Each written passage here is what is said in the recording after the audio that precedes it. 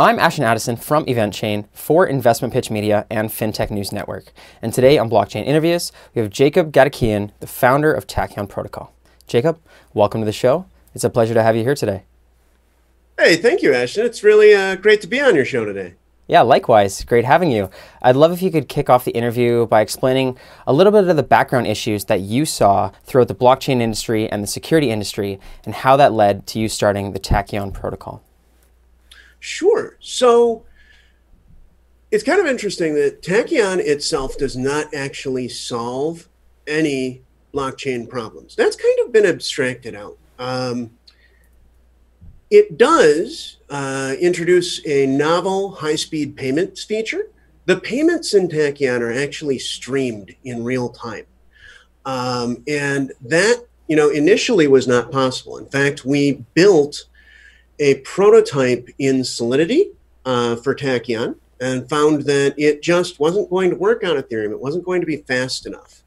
We ended up partnering with V Systems, and what V Systems did is actually created a new payment channel mechanism called Portal, which enables instant payments from stores of value that are kept on chain uh, that can be claimed by the recipient at any time. Um, so most of our, you know, blockchain engineering actually comes from the, the V Systems side and was really enhanced by the Portal product. Um, now, on the side of security, uh, Tachyon, probably the, the biggest single problem that we're solving is the fact that most VPNs at present actually um, have a threat model of the VPN provider versus the user. So the VPN provider is a company, right? Mm-hmm. And that VPN provider uh, can be compelled into giving up information on its users. And we basically eliminate that piece of the threat.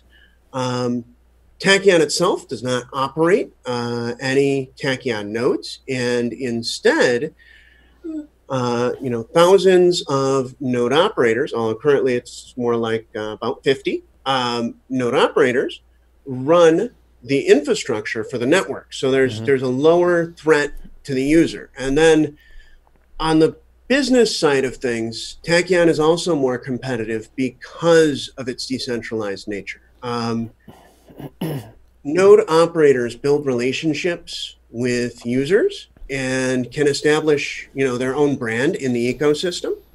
Um, and basically, you know, what we have is this payment technology that makes it very, very easy for them to accept payments in real time. Mm-hmm. That's great. So we've touched on a few different things here.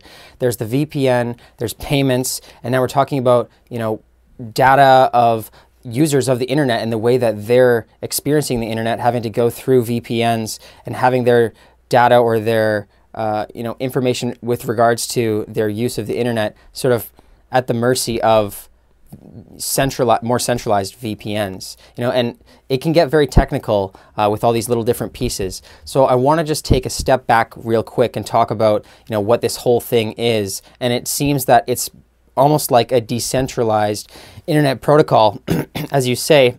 You know, VPNs right now, they seem to be um, for they're getting very popular, but for the most part, it was for power users of of the internet, people who really cared about their personal privacy. Can you talk about as Tachyon continues to grow and you know what this decent, decentralized internet as that continues to grow, how will that change the way that people browse the internet and you know put out their information on the internet as well? Sure. So this, this kind of ties into something that I wanted to discuss uh, at a later point as well, but I'll, I'll kind of bring it up now.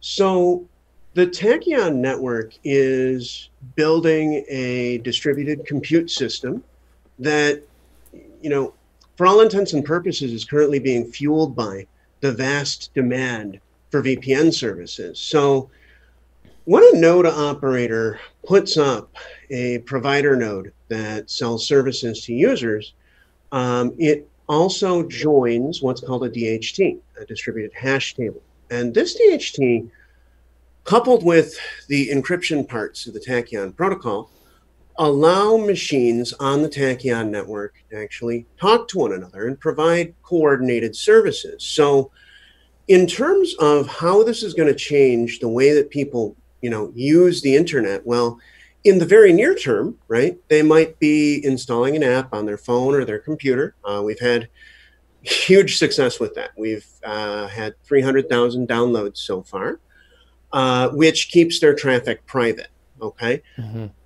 In the longer term, um, the same nodes that fuel that app are also going to fuel other services.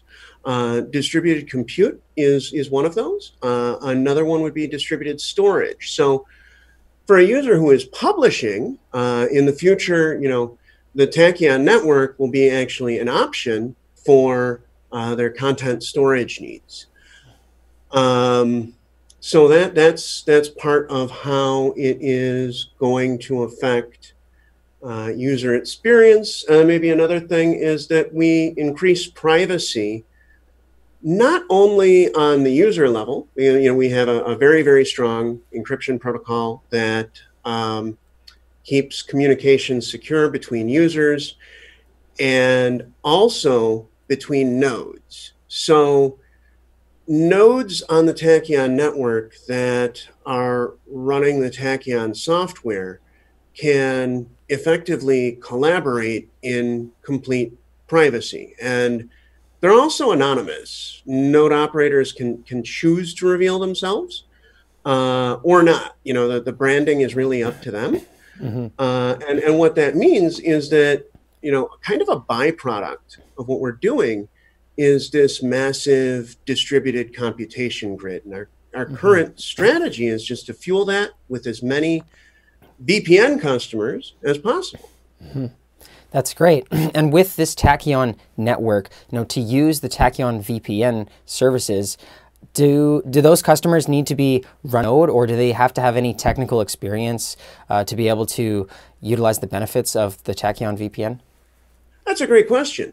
So users do not need to be running a node. In fact, right now, um, in our say like alpha stage, Tachyon is free. Uh, anybody can go to the Google Play Store or the iPhone App Store, and they can download Tachyon to their device and and use it. Um, and in in terms of running a node, I guess I should touch on that just a little bit. We actually have a piece of software called the Node Manager uh, that runs on Mac computers. And the way you join the node network is you uh, load up the node manager, run a script on a Linux server of your choice, and uh, then that, that machine is then enrolled in the network. But certainly, you know, end users do not need to run a node at all. that's that's great to know, and that obviously is going to lower the barriers to entry and show that shows why you have so much growth so far. Now you touched on you know the node part and the the fact that you can do staking on these nodes. Can you talk a little bit about you know the network, uh, its consensus mechanism, and then how people can stake and contribute to the network? Absolutely. So staking is going to go live later this month, and uh, one thing that I should actually let you know is since Tachyon does not actually have its own blockchain, uh, while we do use proof of stake for security reasons, right? Uh, there is no consensus mechanism in yet. The nodes uh, do not actually have to come to agreement on any mm-hmm. set of facts. Um, what the staking is there for is to ensure that entrants into the network are honest uh, and also to get access to the services of the, the app and marketplace. Mm-hmm. So once a user has staked on a node, uh, they are able to uh, earn session fees. So they're, you know, they also earn from staking, but the um, session fees are really, um, well, it's, I, I, maybe I'll include a little anecdote here. Um, I've been testing uh, placing nodes in different places and learning about the ideal strategy for that, right? Like, so at which hosting provider, um, what should the bandwidth levels be like what type of computer do you need and mm-hmm. um, i was able to optimize that by 20x. Uh, I started on very cheap VPSs, and eventually uh, I reached a level where I was breaking one terabyte per month uh, on those VPSs, which was my limit. There were five dollar a month VPSs, and I you know mm-hmm. could only uh, use a terabyte per month. And then I moved to uh, a data center that I'd done a lot of research on. They're called Hetzner, and uh, they have very good internet peering. Uh, what that means is they're highly connected to the rest of the internet. They've spent a lot of money uh, bringing in fiber optic cables and really optimizing their networks. Uh, and I went from serving a terabyte in a month to about a terabyte in a day. Um, so when when touching on the, the issue of session fees, it is not um, you know in staking, right? It's like a level payment, right? If we if we look at say uh, the Cosmos network or even the V Systems network itself, right? Mm-hmm. Um, you you you would get a fixed amount uh, for your staking for providing security. Mm-hmm. On that level, Tachyon is exactly the same. On the level of session fees or session rewards, where you're being paid for internet traffic, okay, mm-hmm. you actually get paid in five megabyte blocks in real time by the user. On that level, um, you know, running a node is a little bit more like a service provider, and nodes that are well placed will do extremely well. Mm-hmm. Um, it's mostly about optimizing to be able to uh, cover as many customers as possible. That's great, and that leads me to the next question about you know this again this difference between the decentralized internet protocol of the future and the way that ISPs and centralized servers sort of control uh, the internet right now. You know, as Tachyon continues to grow and people use this as a method of accessing the internet, is it true that you know certain you know ISPs will not be able to stop you from accessing the internet and, and free flowing you know to whatever part of the internet you would like? That's that's that's absolutely correct. Uh, your your internet server service provider um, would not be able to block content because they, they can't actually see what's in your traffic uh, mm-hmm. when you're using Tachyon.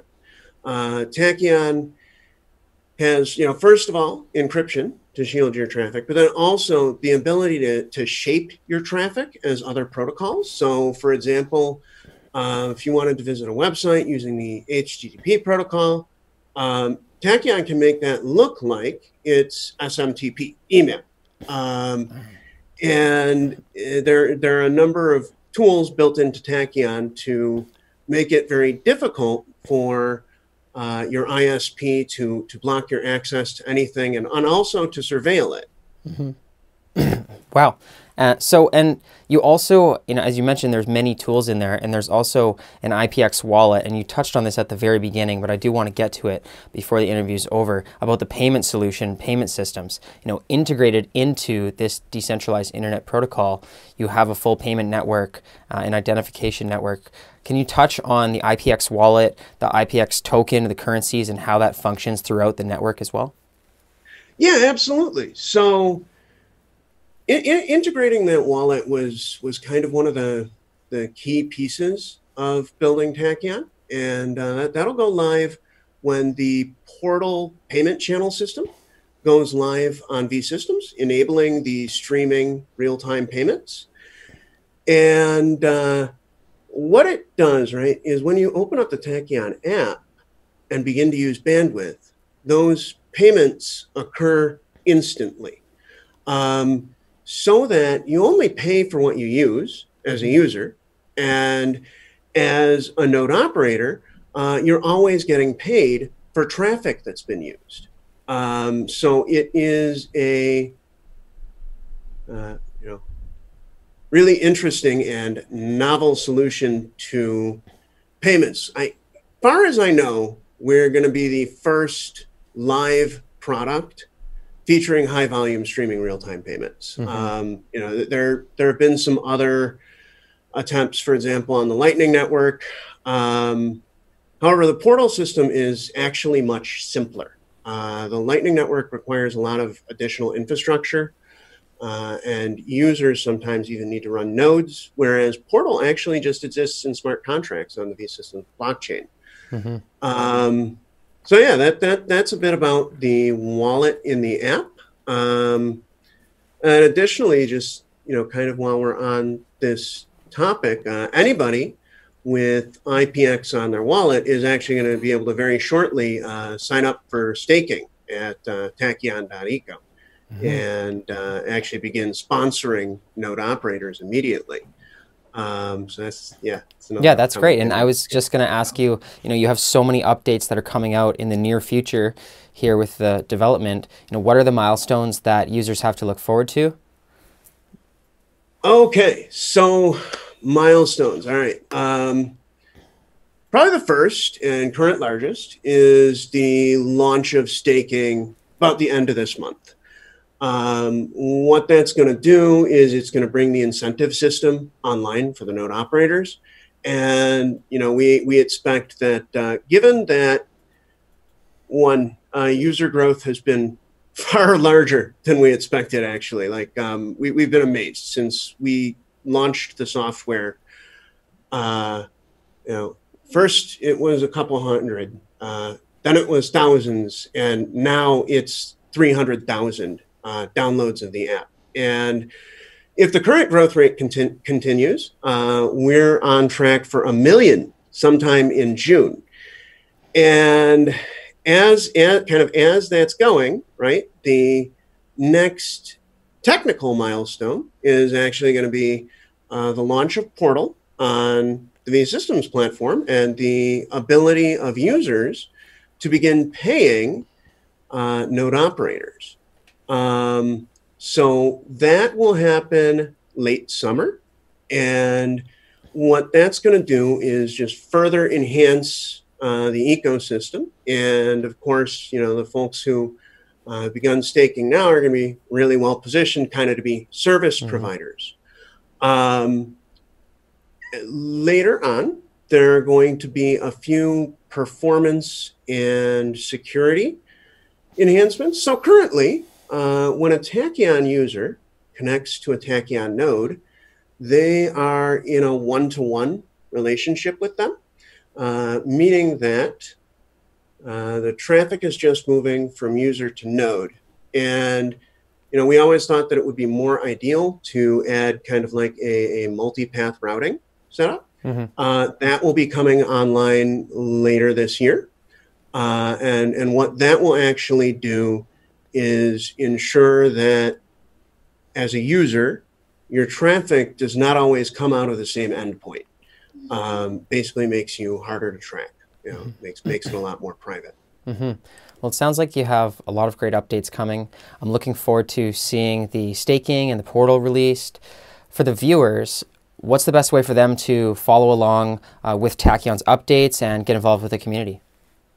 So, you know, our website is tachyon.eco and they can go there. But actually, you know, probably the, the best way that they can begin to get involved is to download the app on their phone or their desktop computer uh, and try it out. And, uh, you know, then if they go to the website, there are also links to Telegram and Medium and Twitter, and, you know, they can check it out and engage with us. Um, if they're interested in running a node. And I should say we're definitely, you know, looking for node operators who I would say that these are generally people with at least a little Linux experience. Um, they're looking to actually run a node. Uh, they can also contact me uh, at Gadikian on Twitter. And uh, I, am personally, you know, helping people to set up nodes. Uh, that's at G A D I K I A N.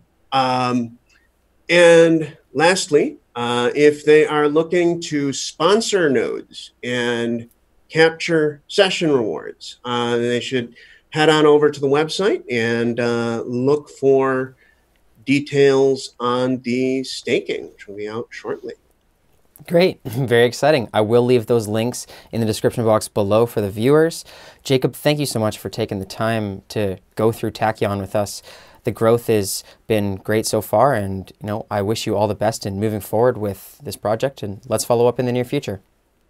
Wonderful. Thank you so much.